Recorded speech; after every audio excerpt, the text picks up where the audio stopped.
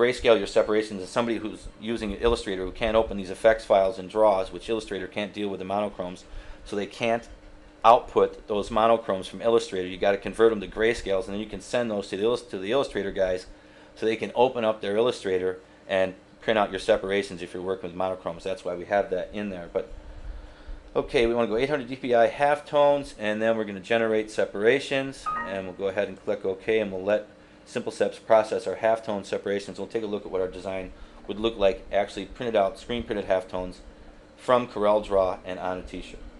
And this will take just a minute to process because it's a high-end raster, raster image processing script that we run this through in Draw. So now I've got this converted to halftones. We'll zoom in and take a look here. This is my white, and there's my actual dots, and that's how that'll print out, and that's what that'll create my effects. And everything very easy to print, not hard to hold. You know, you've got to have good film.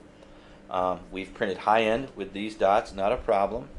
Now, the other issue we want to do is we'll take a look at a color comp here. I'm not going to print these steps out actually, but at least not at this point in time. But go ahead and delete this, and I'm going to go ahead and uh, I'll bring in a t-shirt comp here just so we could actually see what the halftones would look like, two size on an actual t-shirt. So I'll go ahead and grab my uh, men's comp front here. And I'll go ahead and bring this in. And um, actually, I want to undo that because I don't want to rechange. I don't want to change the size of my graphic here. So I want to do that right there, and then I'll go ahead and work with this t-shirt comp here. We'll ungroup all of this, delete, delete, and we'll get rid of this here right click, I'll take this comp order, we'll go to back of page, and we'll go ahead and change this here in size. Now once this is halftones, in Corel I simply go to bitmap mode black and white. I'll select line art okay oh, here and I'll go ahead and left click to knock out my background. I can change this to a white and there would be my white. I'll change my shirt color to the golden yellow and I'll come over here and I'll grab a little bit darker red for my shading and I could really give the client an idea of what this is actually going to print like on the t-shirt so that there'd be no question about what they were going to get on their design and we'll go ahead and resize this just a bit. And clients really love these uh, photographic comps that's for sure. But anyway go ahead and we'll go to our black. We'll copy this. And that'll take just a minute to process because the file is absolutely huge and I'm recording video at the same time. And then we'll go back here to the other page and paste that in. And then I'll go over here and I'll just go ahead and paste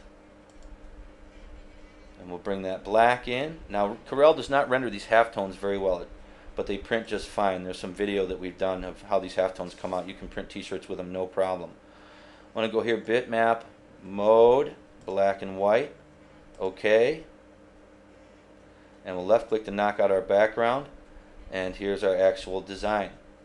Now once I go ahead and take this and actually go ahead take this as you can see here and actually take this and convert this to a CMYK so go bitmap and I'll go to convert to bitmap I'm going to go 300 dpi CMYK because Corel's going to render that better for an R actually go to RGB but I'm dealing with CMYK colors here in my color palette so we'll go with CMYK transparent background got anti-aliasing turned on Select OK and we'll let that process. Now we'll get a much better preview and draw that we can send our client an actual halftone comp so there'd be no question about what they're getting when we present this upsell.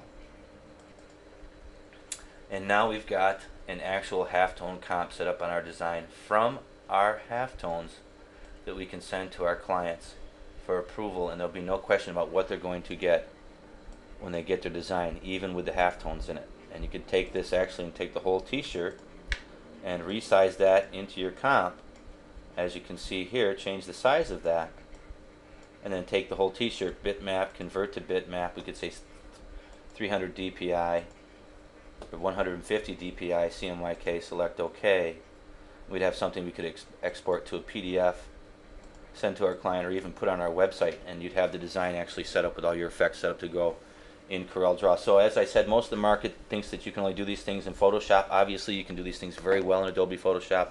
I don't have any issues with Adobe Photoshop. It's just that I can do them easily, more easily, more quickly in Corel Draw with a little bit more simple and more powerful control over what's going on with the textures and things like that. So this is a whole world of design opportunity for you Corel Draw users to start creating some of these designs and effects very easily, even from simple vector logos and designs that you're working with. And this is a nice looking design that is going to impress your clients a little bit different than your vector. So we'll go ahead and wrap here, and we'll see you in our next video session.